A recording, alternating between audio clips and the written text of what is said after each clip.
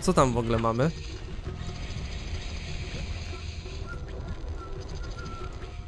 Ja w ogóle, czekajcie, ja w ogóle chcę zobaczyć, co my tutaj w ogóle będziemy mieli, bo mamy jakieś dwie sekwencje.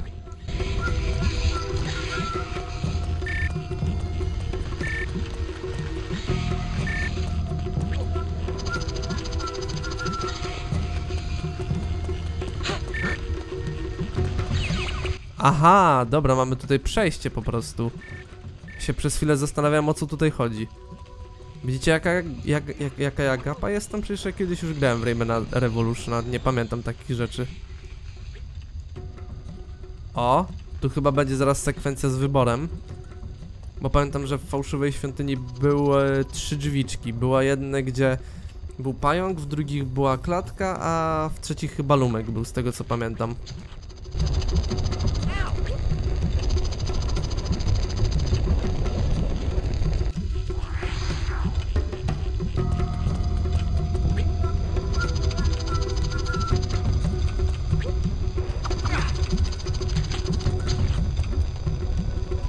Tą sekwencję jeszcze pamiętam w ogóle z wersji tego e, Raymana Shanghai, jak ja to lubię też teraz nazywać.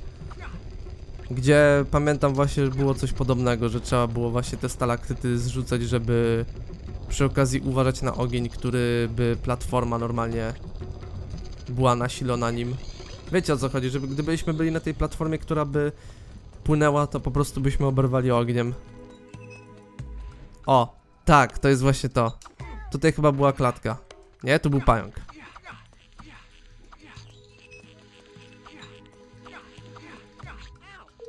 O o. Czerwone lumki. Szybko, szybko, szybko.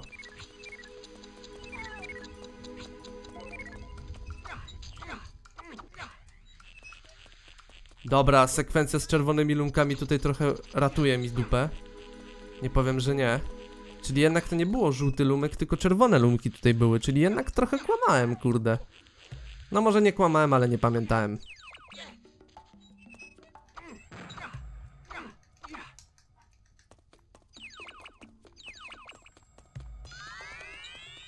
O, złote pięści znowu. Tego to akurat nie pamiętałem, żeby było. I co my tu mamy więcej? A, tu mamy dal dalszą sekwencję, więc dobra. To lecimy w takim razie. O, i rakietkę mamy. Słyszałem ponoć, że w Revolution jest jakiś glitch z tą rakietą, więc zaraz zobaczymy. Czy może ono się nam tutaj przytrafi.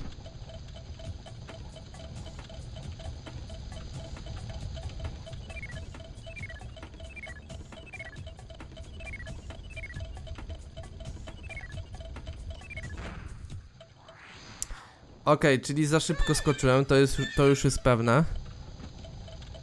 W sumie to trochę śmieszne, bo daje nam złote pięści, a pewnie jej takie wszystkie te, w tej sekwencji stracę, znając moje szczęście.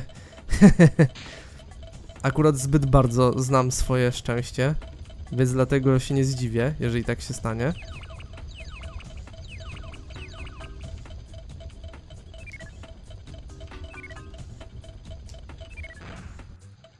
No tutaj niepotrzebnie skakałem, tu mogłem jakby dawać już chyba turbo nawet. Ale ona nie jest taka trudna jak kurde gamer opisywał, czy w ogóle ktoś tam jeszcze z mi znajomych osób. Wiem, że Zakol ją opisywał, że to jest trudna sekwencja, że on tutaj dużo lamił, ale jak ja pamiętam, to on prawie w ogóle nie lamił tutaj. Więc co on mnie tutaj oszukuje? No, mówiłem, że stracę wszystkie złote pięści. to było zbyt pewne. Ogólnie jeżeli chodzi o moje wspomnienia z Świątynią Kamieni i Ognia, to są takie po prostu, że e, miałem kiedyś troszeczkę właśnie inne zdanie na temat tego poziomu, że w sumie go nadal lubiłem, ale uważałem, że jest zbyt długim poziomem i zbyt dużo czasu jakby trzeba w nim spędzić.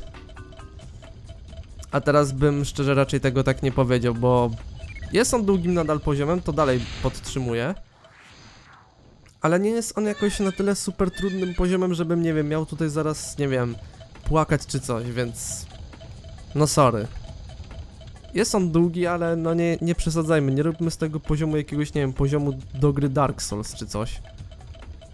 A wiecie, musiałem celowo wspomnieć o Dark Soulsie, bo jak wiadomo wszyscy lubią No może nie wszyscy, ale duża część internatów lubi po prostu wyolbrzymiać swoje opinie, mówiąc ciągle, że coś jest trudne, to od razu jest jak Dark Souls. Przez co uniwersum Dark Soulsa jest, nie wiem, postawione właśnie w takim...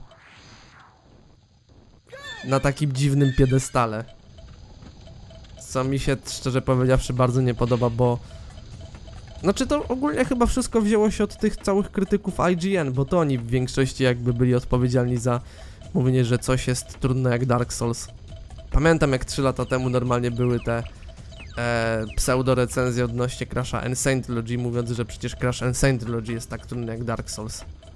Albo jak Nitrofield, że to jest Dark Souls wyścigówek. Chyba też coś podobnego było ze Spyro Reignited Trilogy, o ile dobrze pamiętam.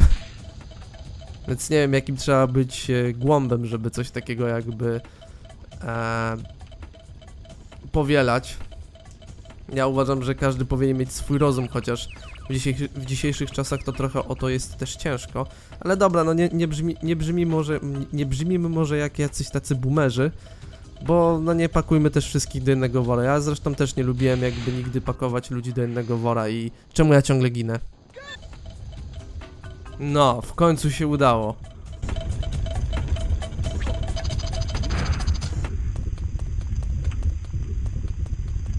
I to tyle. To tyle z tej fałszywej świątyni kamieni i ognia. I teraz chyba będę musiał się czegoś złapać, co nie? Tak mi się przynajmniej wydaje. 43%. Kurde, mamy zaraz połowę gierki. I 4 godziny save'a. Oj, przepraszam najmocniej. Dobra, teraz inną dróżką wyszliśmy. To chyba były żółte lumki, co nie?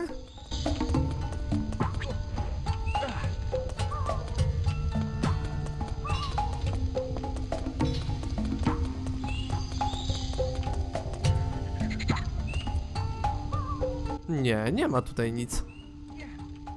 Mi się zawsze wydawało, że w wersji PC tutaj były żółte lumki. Czy ja już takie głupoty gadam trochę? Nie, no, z tego co pamiętam, tutaj normalnie żółte lumki były. A może to, a może w Revolution tego się pozbyli? Nie wiem, szczerze. Dziwna sprawa. Dobra, nevermind. Fałszywą świątynię mamy już zwiedzoną, więc możemy teraz lecieć dalej z koksem.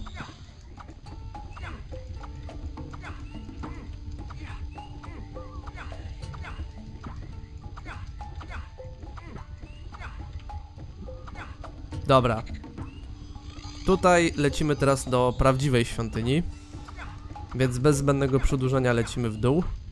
Aczkolwiek zanim to zrobimy trzeba będzie się tutaj złapać, ponieważ tutaj mamy robopirata i klatkę.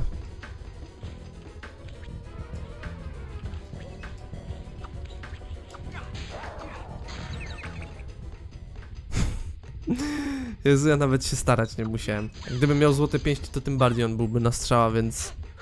XD trochę. Pamiętam w ogóle, że w wersji na PS1 tutaj była trochę dłuższa e, bitka z tym, z tym, z tym, z tym robopiratem. O, i to jest teraz moja ulubiona sekwencja.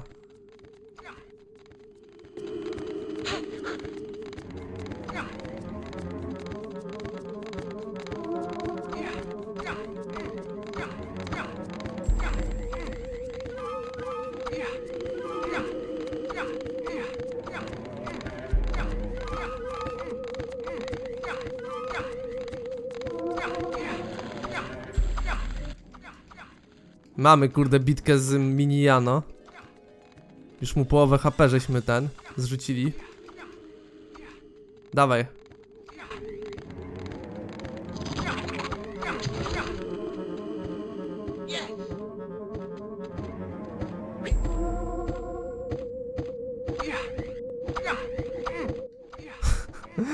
Ej, w ogóle muzyka się zbagowała, w ogóle powinna lecieć teraz chyba inna muzyka z tego co wiem.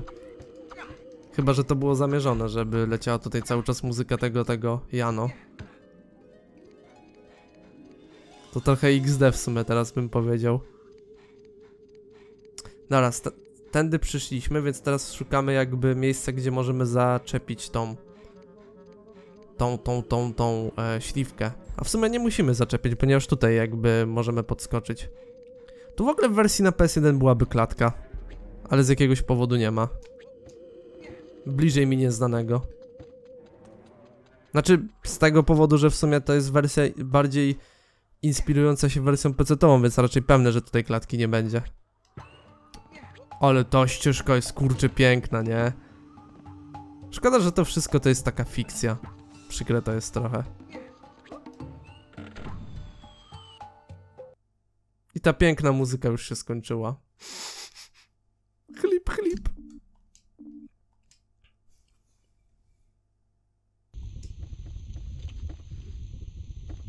O. Teraz będziemy musieli, kurde, lecieć ze śliwką. I w dół.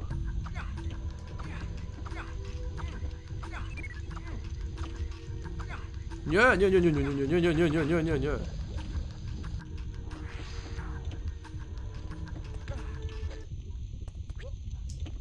W wersji chyba na PS1 ciężko było złapać te, te, te, te śliwki, z tego co pamiętam. Bo tam ich, kurde, dosyć sporo wylatywało. To mogę sobie przypomnieć, bo pamiętam jak niedawno robiłem let's play na Crowzaibatsu z Nero i Łysym, Łysą Szparą, Łysą Parówą. To pamiętam właśnie, że coś takiego było, że te śliwki w nieskończoność tam leciały.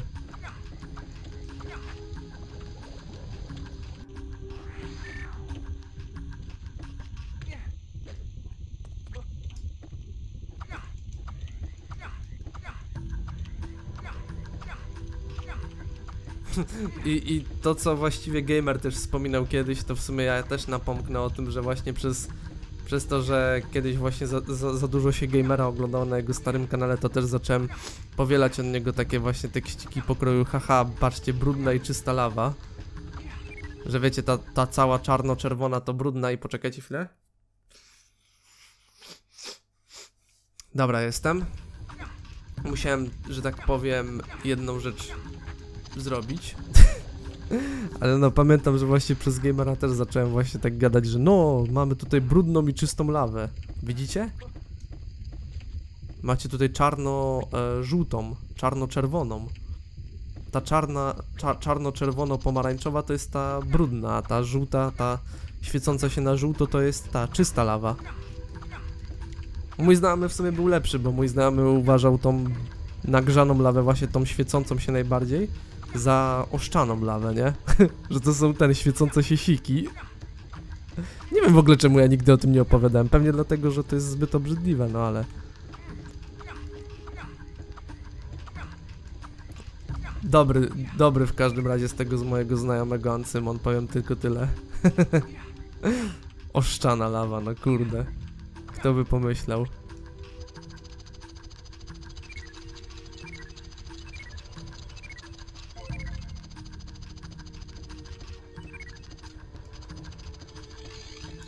Dobra, i lecimy. Idealnie, kurde, wylądowane. Tutaj właśnie będą macki, więc uwaga. Bo macki są, że tak powiem, bardzo niebezpieczne. Szybko, szybko, szybko, szybko, szybko, szybko, szybko, ucieczka. Ucieczka.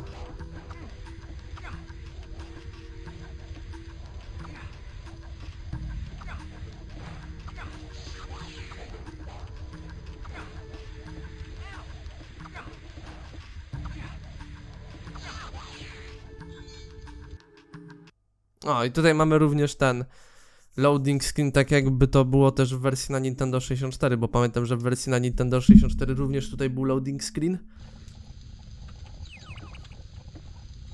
Tylko wersja PC miała jakby płynne przejście.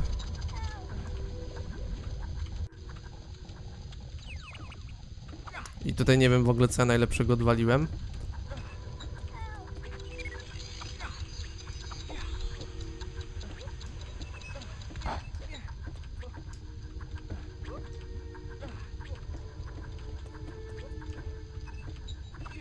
Dobra. Teraz szukamy klatki, którą wiem gdzie jest w zasadzie. Która wiem gdzie jest, bo ona będzie tutaj. Tej sekwencji również nie było w wersji na Playaka jedyneczkę, ponieważ Ubisoft stwierdziło, że po, po co ją dawać. Więc teraz lecimy w tę stronę, gdzie jest żółty lumek. Dokładnie, ponieważ tutaj będziemy mieli dostęp do klatki. Kto wie, może nam się uda ten poziom na 100% zrobić. To by było fajne.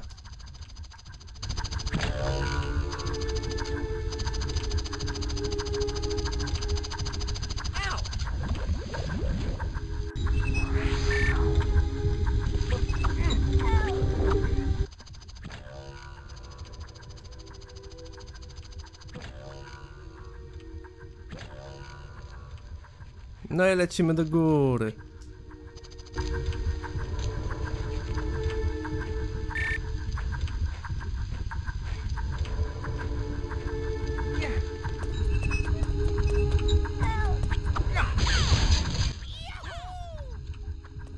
Dobrze. Teraz musimy zlecieć do żółtych lumów.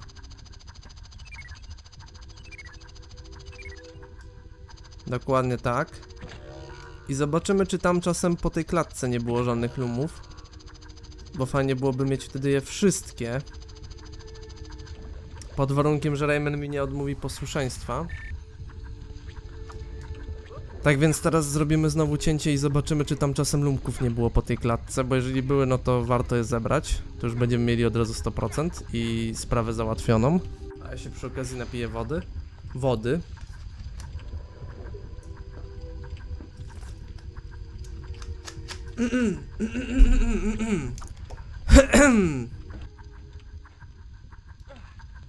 Dobra, zobaczmy teraz, czy tu nie będzie żadnych lumków. Nope. Żadnych lumków nie ma. Więc możemy chyba normalnie wtedy tą śliwką podążyć, bo tam chyba żółte jakieś będą, z tego co pamiętam. Chyba, że to było tylko i wyłącznie w wersji na PS1, bo już mówię, no nie pamiętam za bardzo. Musiałbym znowu zagrać w wersję PC-tową, żeby zobaczyć, czy czasem Revolution w większości nie bierze tego właśnie z wersji PC-towej, a jako że to jest wersja inspirowana wersją PC-tową, no to raczej bierze, więc skoro w wersji PC-towej nie było tutaj żółtych lumów, to raczej tutaj tym bardziej nie będzie.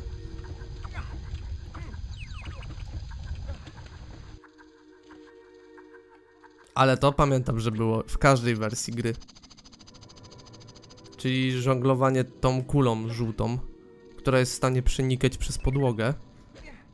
Pamiętam jak mi się parę razy zdarzyło w wersji na Playaka 1, że właśnie ona tak e, przenikała w pewnym momencie. Za późno zareagowałem. Zdecydowanie za późno zareagowałem. Dobra, ale ona na szczęście tam jest, więc nie musimy tego wszystkiego od zera robić.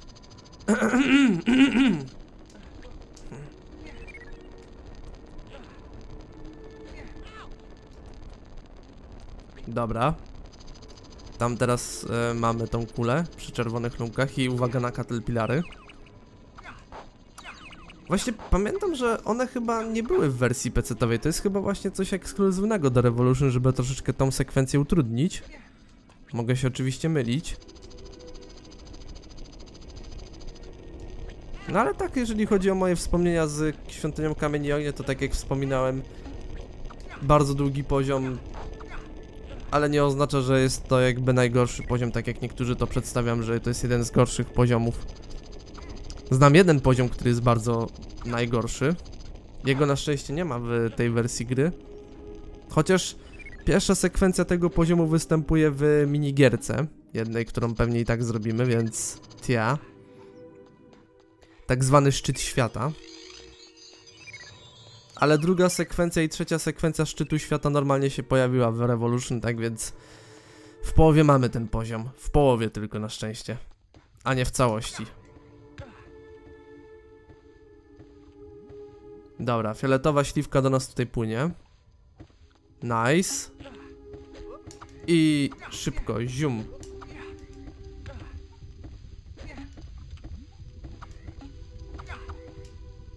No, za pierwszym razem. Nie musieliśmy się tutaj, kurde, borykać z tym.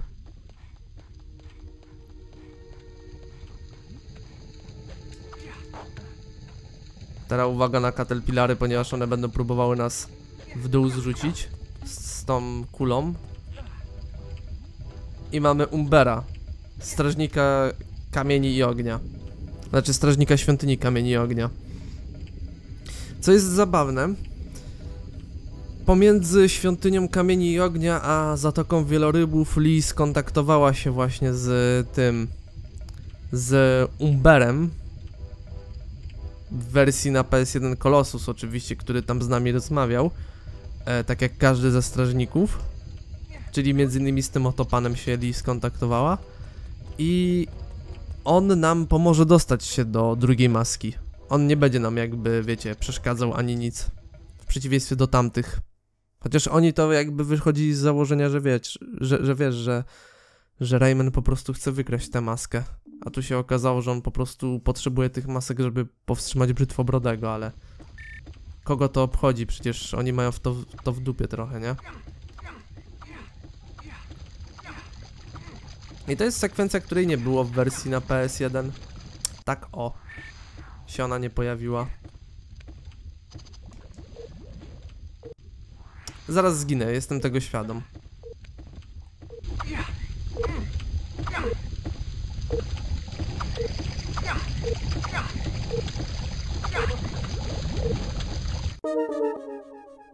No, mówiłem, że jestem tego świadom. Stało się jak się miało stać, no cóż.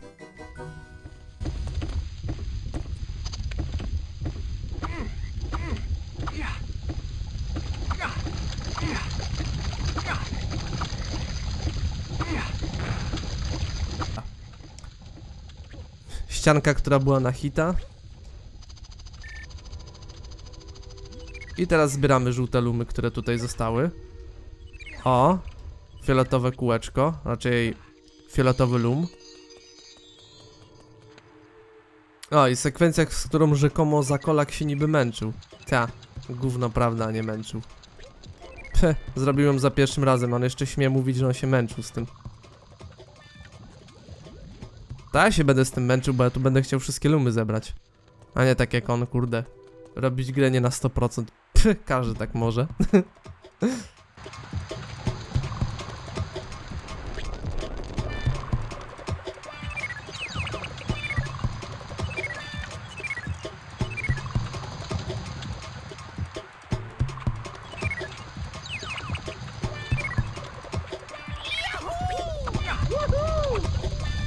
No i mamy 100%. Prawilne. Wszystkie lumy i wszystkie klatki zebrane, więc easy ziom.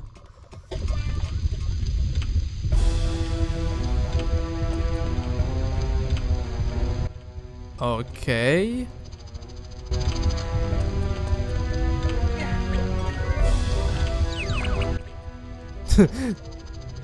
Nieświecące się pochodnie. Ale bieda edition tutaj trochę, nie powiem, że nie.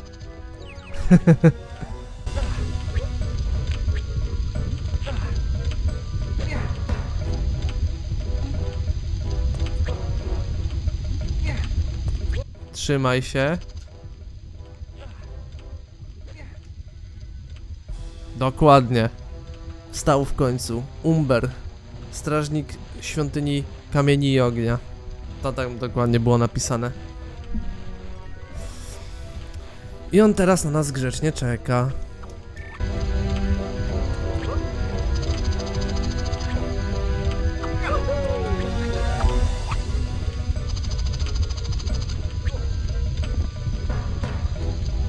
No i w przeciwieństwie do wersji na PS1 on z nami tutaj nie będzie gadał, tylko po prostu się w lawie utopi. Bo w wersji na PS1 to on przeżył. Ale to był wtedy Colossus, a tutaj mamy Umbera. No i też nie zapominajmy o tym, że w wersji na PS1 tutaj byśmy mieli walkę z e, Ninjosem, czyli specjalnym robotem, robo, robotopiratem. Robopiratem, robotopiratem, Jezu, co ja w ogóle wymyśliłem?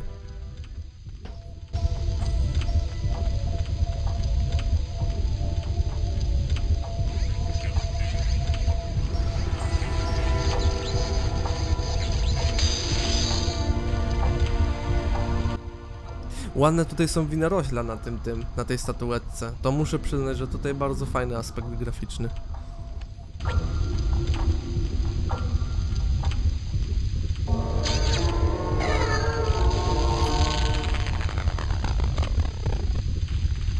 No. I tyle. Świątynia Kamieni i Ognia została zaliczona. Pewnie mi wyjdzie z tego dwa lub trzy odcinki. Coś, coś tak mi się wydaje. No i stage 6 na 10, czyli nam już zostało bardzo mało. Ponad połowa gry. You have found the second mask. Good, Rayman. You're getting closer to your goal. Just two more masks and I will awaken.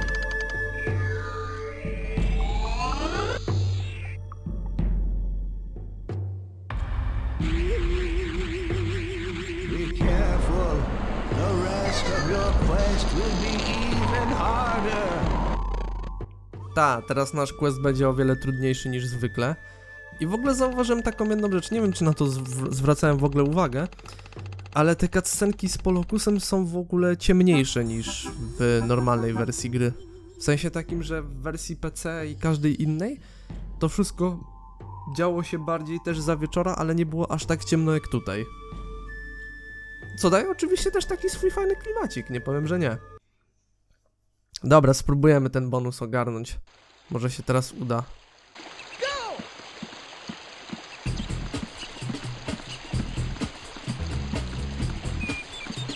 Ty, no czym tutaj spamować?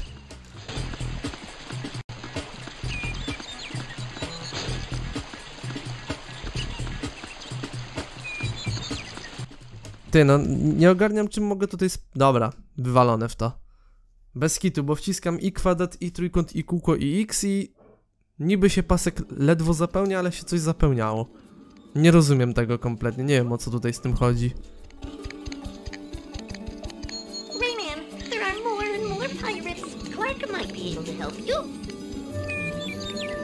Nie, Clark na razie ode mnie pomocy nie potrzebuje, bo inaczej by się do mnie odezwał.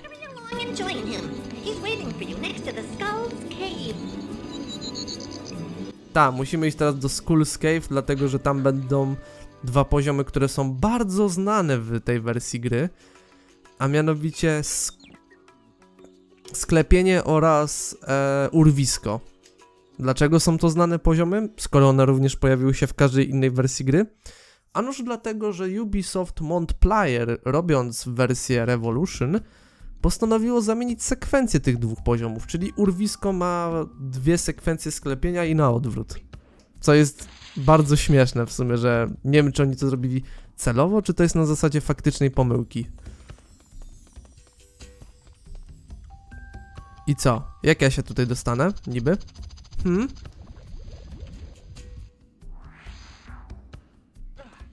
No słucham, jak ja się tutaj dostanę niby? Mam iść do Skull Cave, no i co?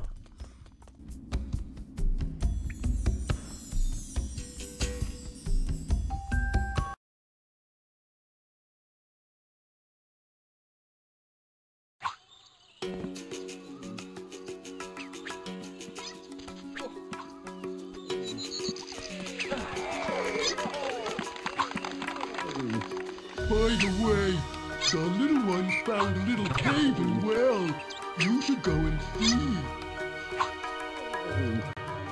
Man, it seems Clark back. Dobra, musimy iść po Clarka, dobra, już ogarniam. To nie chodziło o Globoxa ani nic, tylko po prostu musimy iść po Clarka, ponieważ to Clark ma nam pomóc się tutaj dostać.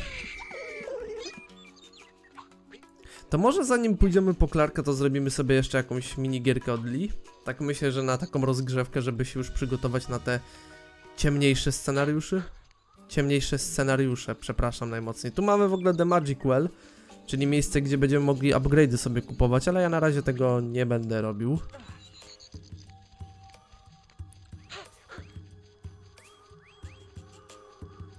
Dobra, gdzie jest ta sekwencja z Lee? Tutaj jest, no. Tutaj będziemy mieli minigierkę z Lee, więc myślę, że w ramach rozgrzewki można ją zrobić.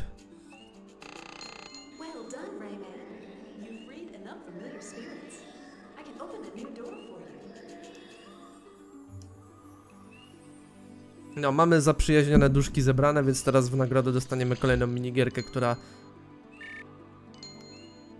Racing Challenge. Aha, czyli będziemy mieli wyścig z Lee. No to wygląda. Okej, to mi się podoba w sumie. 25 czerwonych lumów zebrać. Eee, easy. Co w tym może być ciężkiego?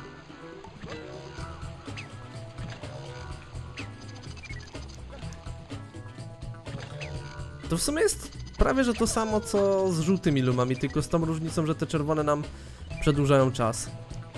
Z tego co przynajmniej zauważyłem. No, one przedłużają nam czas normalnie.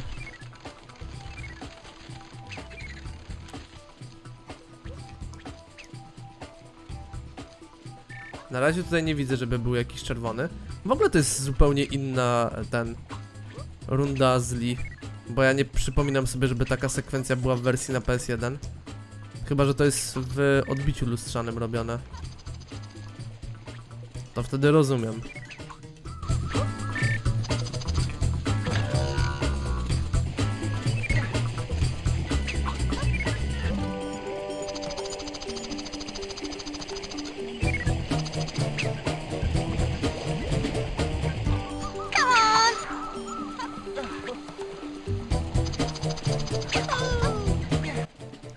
Pozwólcie, że tego nie skomentuję, dobra?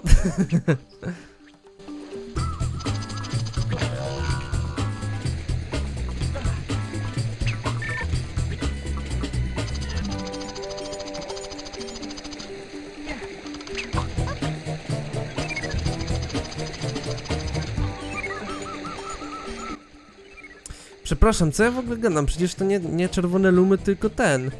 Tylko te mini ołtarzyki nam przedłużają jakby czas. Więc co ja w ogóle gadam, że te te platformy nam właśnie czas przedłużają, a nie te czerwone lumy. Bo, Boże święty, co ja w ogóle dzisiaj... Coś, co jest dzisiaj ze mną nie tak? Dzień niepodległości, a takie głupoty gadam? The fuck?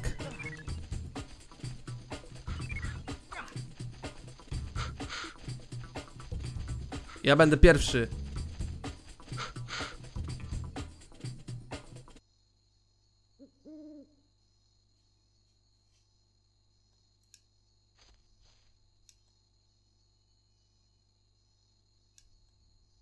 Aha, okej, czyli tylko zdobyliśmy ten, e, naładowanie nam HP. Spoko, dzięki Li. Wspaniała jesteś, nie powiem, że nie.